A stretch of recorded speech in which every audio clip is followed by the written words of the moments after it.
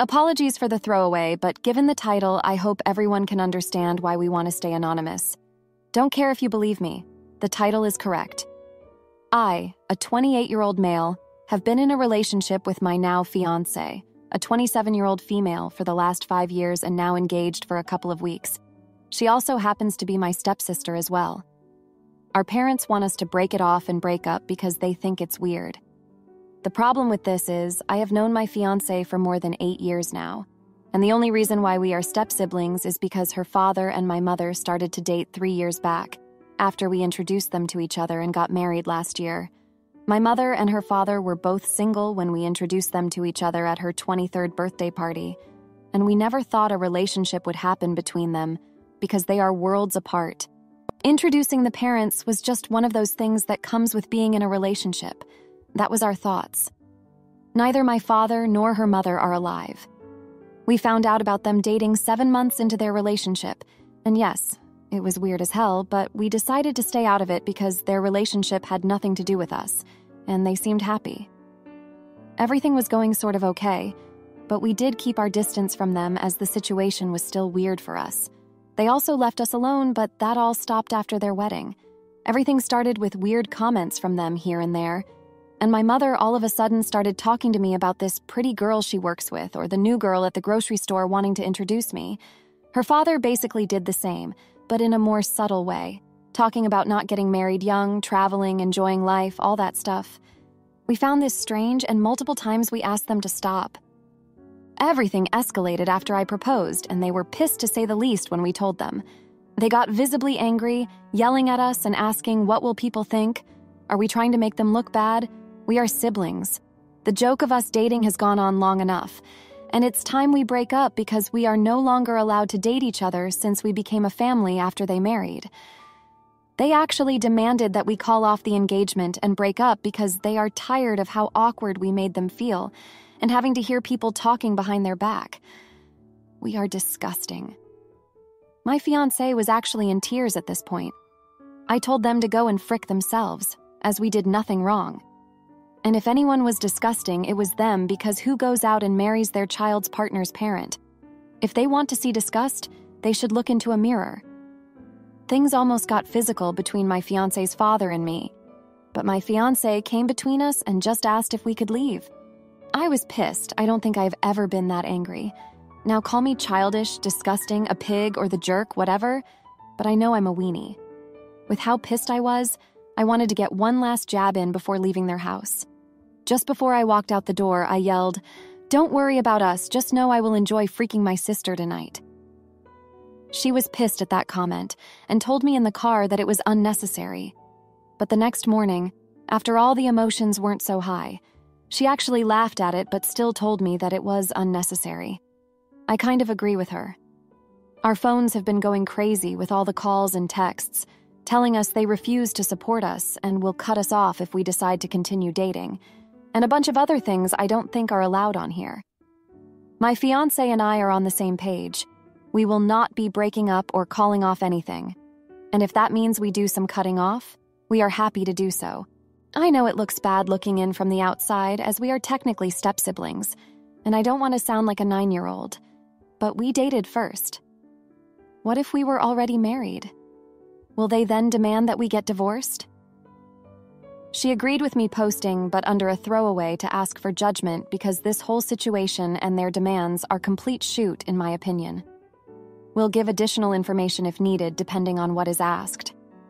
Am I the idiot? Edit. If and when our parents show up again, which they will, I'm working on a couple of more jabs. If you have any, please share. Petty as frick over here. Now, for a few comments before the update. Comment 1. Oh, I would start referring to each other as my brother lover and sister lover when talking to the parents. If they're around, introduce yourselves to their friends as such. Get people asking why parents are allowing this to happen. Make them have to explain it. They're the ones making this weird. They could have easily turned this into a huge family joke. You fell in love with your fiance. And it's obvious where you get your great taste in partners from. Have fun with it. But they decided that they only get the relationship, and you two should end yours, stupid as hell. You two go on, get married, make babies who are their own cousins. Embrace the joke and invite the rest of the family to join in on the laugh. Comment 2. Not the idiot. No, it doesn't look bad on the outside. You are a couple and soon to be fiancés, no matter what your parents do or think. Like you say yourself, if they want to have someone to be ashamed of, they should look in the mirror. In my opinion, this whole thing wouldn't be bad at all if they both just thought they are meant to be together. Who cares? But they don't have the right to judge you for a situation they created. Now for the update. Thanks for sticking around. So it's been a month since I last spilled the beans on the whole step sibling fiance drama. You'd think things might have cooled down, but nope, they've only heated up. And not in a good way. First off, my fiance's dad, let's call him Mr. High and Mighty, decided to take matters into his own hands. He went behind our backs and tried to sabotage our relationship by reaching out to my exes. Yeah, you heard that right. He actually thought he could stir up some old flames to distract me from my fiance. As if that wasn't enough, he also started spreading rumors around town about us, painting us as some sort of twisted couple. But here's the kicker one of my exes, who's still a friend, told me everything. She was as grossed out by his actions as I was. My fiance and I confronted him, and it was a mess. Voices were raised, tears were shed, and in the end, Mr. High and Mighty walked out, saying he was done with us both. That he couldn't stand the shame we were bringing upon the family, as if he hadn't done enough of that himself. Now, my mom, she's been a bit more subtle, but no less destructive. She's been playing the victim, crying to our relatives about how her son has been led astray by his stepsister. It's like she's trying to gather an army of sympathizers to pressure us into breaking up. And then there was the incident at the bank. My fiance and I share a joint account for our wedding savings. Well, guess who tried to drain the account? My dear mother. She somehow convinced the bank manager she was looking out for my best interests. Thankfully, we got there in time to stop it, but the betrayal stung deep. But wait, there's more. Just when we thought we could catch a break, my fiance's job suddenly became a nightmare. Her boss, who's apparently golf buddies with her dad, started giving her the worst shifts and impossible workloads. It was clear what was happening. They were trying to break her, make her dependent on them again. We've been fighting back, though. My fiance is looking for a new job, and we've tightened our circle of friends. We're leaning on each other more than ever. It's us against the world, it seems. And just when we thought things couldn't get any worse, they did. My fiance found out she's pregnant. We were overjoyed for a moment until we realized this was just more fuel for the fire. Our parents' reaction was as expected. They accused us of being irresponsible and reckless. They even hinted that we did it on purpose to trap them into accepting our relationship. We're keeping the baby, of course. It's a little light in all this darkness. But it's also made us more vulnerable. We're bracing ourselves for the next wave of attacks because we know they're coming. Through all this, I've been trying to keep a cool head, but it's hard. I'm angry all the time. I resent my mom and her husband for what they're putting us through. I resent them for not seeing how happy my fiance makes me, for not understanding that our relationship is none of their business. But here's the thing I'm starting to accept this terrible situation. I'm accepting that our parents may never come around that they might never be a part of our lives or our child's life. And that's okay. We have each other, and we'll build our own family, one that's based on love, not blood or societal norms. So, yeah, that's where we're at. A month of battles, big and small, a month of holding on to each other like life rafts in a stormy sea. And through it all, I've learned that sometimes the family you choose is more of a family than the one you're born into. Thanks for reading. My wife gets pregnant again, despite my wishes for no more kids. So I book a counseling session and plan to serve her divorce papers. My wife, 43 year old female, and I, 46 year old male, have been married for 10 years and have three boys.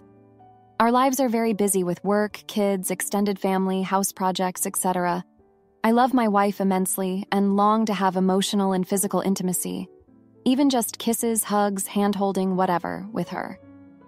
However, for most of our marriage, she has been completely focused on the kids, so we really only have a co parent slash roommate relationship. Of course, I understand this. The kids have to be the top priority. But for the last eight years or so, if there's not a kid in our bed at night, then my wife is in a kid's bed with them. I try to get them to sleep in their own beds and encourage her to sleep with me alone, but it's rarely successful. I've made it very clear to her that I do not want any more kids. I'm more than ready to get our relationship back on track now that the youngest is of school age. I'm also exhausted and overwhelmed all the time with everything on my plate. I can't and don't want to add another kid to the mix. She, on the other hand, longs for a fourth baby. We've gone back and forth so much, but I am adamant that we should just enjoy the three we have. My wife is on birth control and has always made it a point to have an alarm set, so she takes it at the same time every day. She is still trying to work on me to get me to agree to another baby, so I can't schedule a vasectomy yet. She brings it up at least once a day. Well, she told me a few days ago that she's pregnant. She's so happy, and I'm devastated. She won't even consider termination. I love my wife so much. She's a great person. And I know in the end I'll love this baby. But now there's no end in sight to this overwhelmed, exhausted, emotionally lonely life. Also, I'm realizing that these last few months she's actually initiated intimacy several times, which never happens. I can't help thinking that she got pregnant on purpose. She wanted it so much she wasn't going to just give up. It would be in character, I suppose, for her to just do what she wants. I hate to say it, but she does disregard my feelings on things quite often, and she knew there's nothing I could do about it. Would I be the jerk if I told her I want to divorce? My kids are my life, and I don't want to leave them at all, but I feel like our marriage is not going to get any better. I've asked her to go to marriage counseling several times over the years, but she refuses every time, saying we don't need it. And now I've kind of lost trust in her it would break my heart to do this to the kids, and I don't know if my feelings are worth doing it over. Please tell me if I'd be the jerk here. Edit. To be clear, if we divorce, I will push as hard as necessary for 50 50th parenting time and joint custody for all the kids. They are my number one priority in life. I just don't know if my lack of emotional fulfillment in our relationship, my wife's general disregard for my feelings, and the other marriage issues are worth tearing the kids' worlds apart. Edit hash 2. Because everyone is saying it, I didn't wear condoms because we never have. And if I suddenly started, she'd have accused me of not trusting her or become suspicious. And if I had just gone and gotten a vasectomy, she definitely would have been angry and felt betrayed. I was trusting her. Now, for a few comments before the update. Comment 1. Not sure divorce is the answer yet. Maybe let it simmer a bit. However, I would have a serious discussion with your wife about sleeping arrangements and let her know it's affecting your marriage. Since she is now pregnant, I would tell her you are getting a vasectomy. Don't make it a secret, but let her know this is as much as you can handle and make the appointment. Obviously, kids take up a huge chunk of attention, but with four, it's time to get more strict on the sleeping arrangements. If nothing helps, then tell her counseling or you are considering divorce. By the way, I got pregnant with my youngest while on birth control. It happens. But my husband got a vasectomy right after that. Nothing else is foolproof except abstinence. Comment 2. I feel like this advice in the comments is really harsh. Why on earth would you assume your spouse would intentionally get pregnant to necessitate you needing to use condoms or abstain from intimacy? If you were at that point of distrust, you probably would have been divorcing already because trust is the most important thing in a marriage. I feel for you, bro. I want another baby and my husband doesn't. But I would never betray his trust like this. This, plus your comment about her doing whatever she wants, would really have me reevaluating the relationship. I don't know how you come back from this. Now, for the update, thanks for all the comments on my last post. They really made me think. So, a lot has happened in the past week. My wife's pregnancy news hit me like a ton of bricks, and I've been trying to wrap my head around it all. I've been feeling trapped, like I'm stuck on a path I didn't choose, and it's been eating me up inside. The tension at home has been thick enough to cut with a knife. My wife, she's over the moon about the baby, but I can't shake the feeling that she went behind my back. I've been pulling away, and she's noticed. We had a huge fight about it. She said I was being cold and distant, and I finally let it all out. I told her I felt betrayed, that I didn't want another kid, and that I was considering divorce. She was shocked, and it led to her crying and pleading with me not to tear our family apart I've been sleeping in the guest room since then. It's like we're strangers living under the same roof. The kids can sense something's off, and it's breaking my heart. I've been trying to keep things normal for them, but it's hard. They keep asking why mommy and daddy are fighting, and I don't know what to tell them. Work has been a nightmare, too. I'm barely keeping my head above water with all the stress from home. My boss noticed and pulled me aside, asking if everything was okay. I didn't go into details, but I said I was dealing with some personal issues. He gave me a few days off to sort things out, which I appreciated, but it's not like I can solve all my problems in a few days. I've been talking to a lawyer about the divorce just to know my options. It's not what I want, but I feel like I need to be prepared for anything at this point. The lawyer said with the new baby on the way, things could get complicated, especially with custody and support. It's a mess, and I'm trying to figure out the least damaging way to handle it. Then, out of nowhere, my wife dropped a news. She told me she's been feeling guilty and that she needs to come clean. She admitted that she stopped taking her birth control months ago. She thought if she got pregnant, it would bring us closer together. I was floored. I felt a mix of anger, betrayal, and sadness. It was like my worst suspicions had been confirmed. We had a long, hard talk after her confession. I told her how her actions had shattered my trust. She begged for forgiveness, saying she just wanted our family to grow and for us to be happy.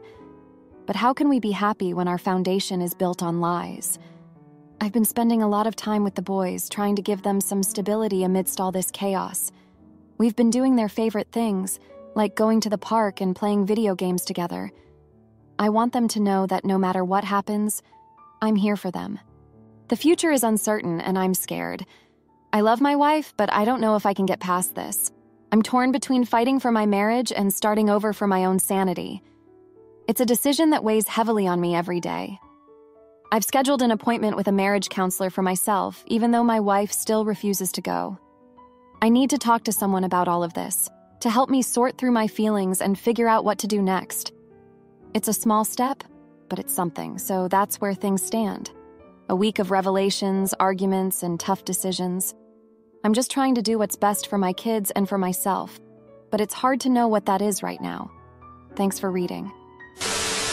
My wife's mother abused her at our wedding, so I kicked her out and made sure she'll never forget the day she crossed us.